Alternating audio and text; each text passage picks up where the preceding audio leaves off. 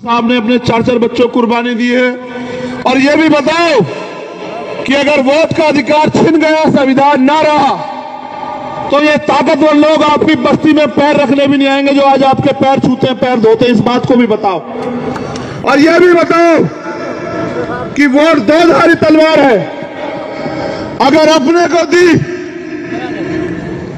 तो आपकी परेशानियों का इलाज होगा।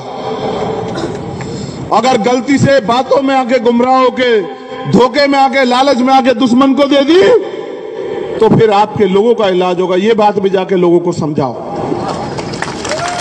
अगर ये बात आपने समझा दी तो मैं ज़िम्मेदारी से कहता हूँ कि जिस समाज में मैं पैदा हुआ हूँ, ये बहुजन समाज बड़ा स्वाभिमानी समाज है।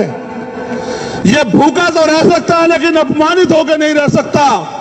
जिस दिन ये बात इनकी समझ में आ गई और आपने जाके मेहनत की, फिर वो शक्ति बनेगी राजस्थान में कि राजस्थान से चली हुई ये अंधेरों के खिलाफ ये उजाले की रोशनी, एक छोटी सी रोशनी, ये पूरे भारत में जाएगी।